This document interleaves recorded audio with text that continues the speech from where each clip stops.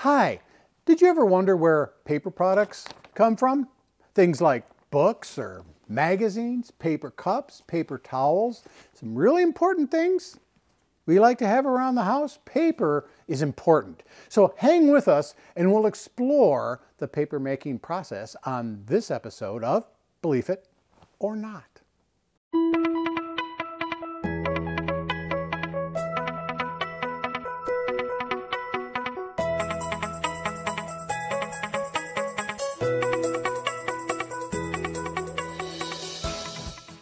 Not all that long ago, paper was made from old cotton rags and other plant materials. It was expensive and time consuming to make and you know, Georgia, for most people, having paper was actually a luxury. That's right, Bill. You know, cultures throughout the world at some point or another have made paper from different kinds of products. Even a hundred years ago, American paper companies would hire people to go door to door to collect rags to make paper. That's right. And then the chemists and the manufacturers started looking for other materials to make paper, and they started looking at wood fiber. Wood is made up of three basic kinds of materials. Cellulose is what paper makers use because of the long fibers.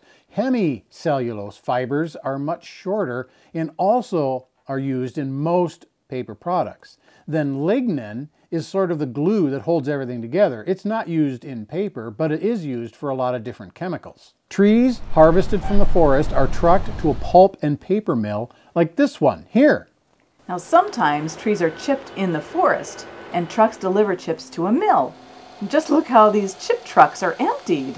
Holy cow, is that cool or what? Man, I sure hope the driver didn't leave his coffee mug in the cab. You see those chip piles over there? Under the pile, there's a hole that sucks in chips and they are moved into the pulp mill. Oh, and then logs that are delivered have to have their bark removed and then they get chipped. That happens inside the mill. So let's go take a look at that, okay? Yeah. So you can see how those logs are getting turned around in those big drums. That's how the bark gets removed. Bark is no good for paper making. So what happens to all the bark? There must be tons and tons of it. Yeah, but it's not wasted. It's burned to help provide energy. Cool.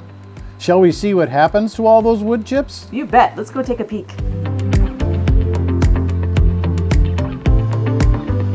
There are a couple of different ways to cook the wood chips down to a soupy mixture called pulp. It kind of looks like a big pot of spitballs. Yeah, look at that. It looks kind of gross, Bill. Oh, yeah, but take a look at this. The white pulp has been bleached. The brown pulp has not. Sometimes bright white paper is needed, and other products can use the brown pulp. Okay, so Bill, what happens after all this pulp is made? How do we get paper from pulp? Oh, that's a really good question, Georgia. The pulp gets diluted with water, lots and lots of water, and then the juice is sprayed onto a fine screen, big screen. Oh yeah, you know, that's a really big machine. Look how far you can see. These giant machines remove the water and dry the huge sheet of paper. The process makes paper at very specific densities and thicknesses. A lot of math and engineering Ooh, math and engineering. Mm. Well, at the end of the machine, the paper is rolled onto these Mongo winders. Each finished roll weighs many tons and needs to be moved using huge cranes. Yeah, sometimes the rolls are rewound after adding a coating. The coating allows the paper to be better used for ink. Finally, these huge rolls are cut to sizes that are wanted by different customers. Wow, take a look at all those robots. Wow, eh, they wrap and label each of those smaller rolls. Finally, the rolls roll into a loading room where forklifts pick them up and drive them into a semi-truck. Wow, that kind of looks like stowing away something on a spaceship. Yeah, it kind of does, doesn't it, Georgia? Yeah, making paper involves a lot of technology, computers, robots, and engineering. So, that's how paper is made. It's amazing how people figured out how to use this process to make all of these different products that we rely on all the time. And as a forester, it's a great feeling to know that it's also good for the forest. That's amazing. Good. Indeed. Well then, join us on the next episode of BeLEAF It or Not. And don't forget to subscribe to our channel.